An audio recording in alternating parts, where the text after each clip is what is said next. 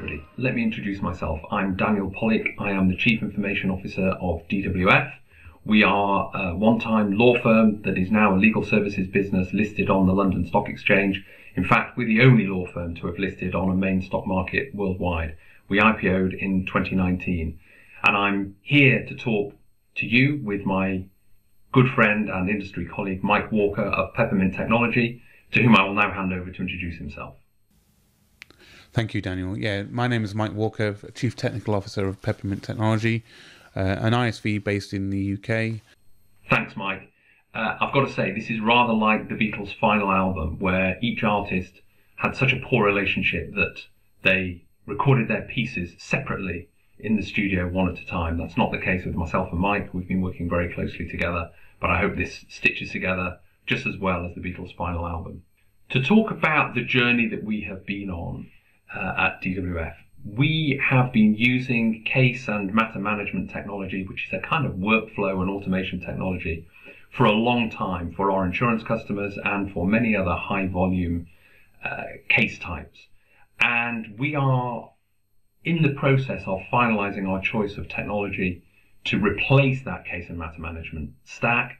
And we've been working very closely with Peppermint. And the reason why we have chosen to work with Peppermint is precisely because we want to build on the Microsoft stack. We want to have the opportunity to leverage everything that the Microsoft stack can offer us, not just on the Office side, but also on the AI, Power BI, and all the other things that go within the overall Microsoft Tower of Technologies. So it's a big decision for us to go forwards with Peppermint and the Microsoft stack. I think we'll be probably the largest law firm to have made that kind of decision. Of course, I don't think of us as a law firm now. I think of us as a, a legal business.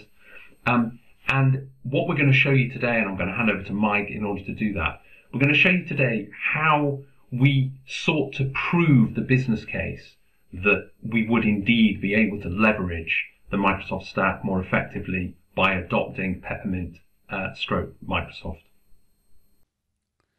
Yeah, thanks. So today we're going to talk about how we've used AI Builder to help manage and start predicting um, a data model that provides information in regards to managing claims for damages in road traffic accidents. So here we are in AI Builder, part of the Power Platform. And what we've been able to do is import the data into the common data service for their historical claims information. And then using that, we've then been able to use a wizard through the AI Builder process to set the entity, which we're going to say is PI claim, which is the data we imported through, the accepted offer total, which is basically the, the targeted outcome field that we want to try and predict.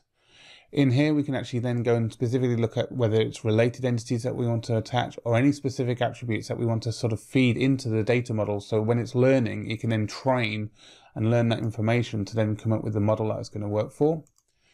It then allows you to also have a nice filter option where you could sort of say do different models for different groups of data. So you may want to use that for more refined information that might be related to specific cases that allow you to really sort of focus in on that. You then get a summary page that then just talks about where the data sources come from and what its outcomes are going to be. And then basically the training model happens. And then after a few minutes, you'll then get some information in here.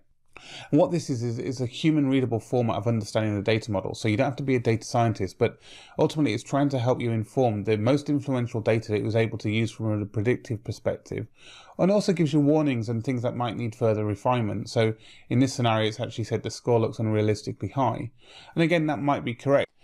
The exciting point from this, though, is actually now what actually happens is inside of the line of business system. So this is Peppermint CX365. Because it's built on the Power Platform, it's all together. So what we've got here is we've got the information from the office that has come in for this specific claim, which has come from this claimant's lister. You've also got things like medical report information, incident dates, and on the right hand side you've got predictive outcomes. I can actually click on here as a send counter offer, and what it'll now do is run a process task that's going to try and go through a, a, sort of form of wizard that's going to try and drive me into information that I need to know about the case. So in here, it's going to give a suggested offer based on the settlement figure and, and historical data that's been used on the predictive AI through AI Builder. I can click on save and follow this process through. It's now going to create an offer record. That offer record is going to be part of a document that's going to be able to go back to the alternative or the claimant's uh, solicitor. I can click on next.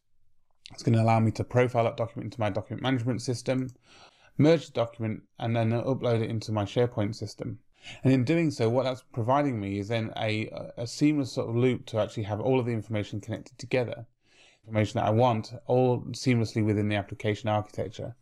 I can close that document. I could have printed that. I could have sent that as an automation. I could have co-signed that, do anything I wish to do with an automate. I've also got some tasks in here to allow me to sort of remind tasks. And all of this is just part of the business system. Because I've completed that merge, I can then complete and close that down. That job is now being done. Now I've got an additional offer in, embedded within here. I can also go back to my dashboard because of also the power of Power Automate.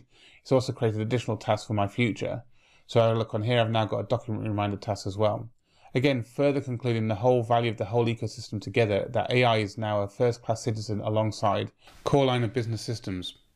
In summary, we brought in historical information straight into the common data service. We were able to use AI Builder to build a very quick uh, proof of concept around the model delivery and, and embed that within the user experience for the case handler, further improving their comprehensive ability to then define and get the right value for their case. That in turn builds customer satisfaction, reduces risk, and understands and reducing costs. Now back over to you, Daniel, for final thoughts. So you've seen the demo and you've heard Mike talk about the use case and what we achieved. It really is striking that we were able to achieve in just a couple of days what previously we'd spent a long period of months thinking about and, and programming and coding. Uh, part of that, of course, was because we had a data set available to us.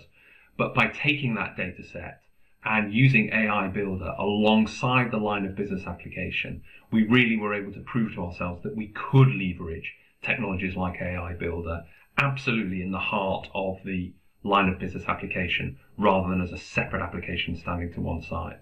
So it's really created a level of excitement and validation within our organization that we're making the right choice.